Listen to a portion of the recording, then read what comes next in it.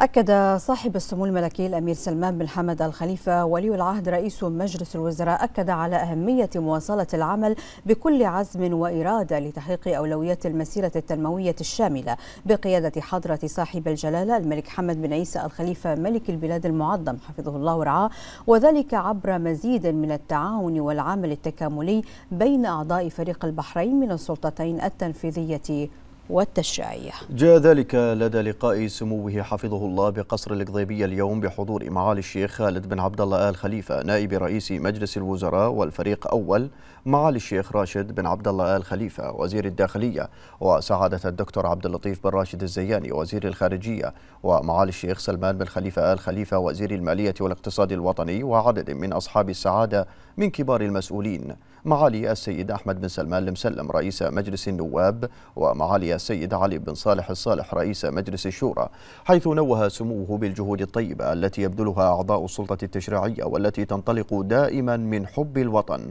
والحرص على تقدمه وتحقيق تطلعات أبنائه. وقال سموه إن العمل مستمر لضمان استدامة التطوير للخدمات الحكومية وفق عمل تكاملي مع السلطة التشريعية بما يسهم في تحسين جودة الخدمات وكفاءتها لتكون دائما بأعلى مستويات الجودة. مضيفا سموه أن الجهود التي يبذلها أعضاء فريق البحرين من مختلف مواقع عملهم نراها دوما رهاننا الرابح لحاضر البحرين ومستقبلها. من جانبهما أعرب معالي رئيس مجلس النواب ومعالي رئيس مجلس الشورى عن بالغ شكرهما وتقديرهما لصاحب السمو الملكي ولي العهد رئيس مجلس الوزراء على ما يليه سموه من حرص على مواصلة تطوير التعاون بين السلطتين بما يعود بالخير والنماء على مملكة البحرين وأبنائها.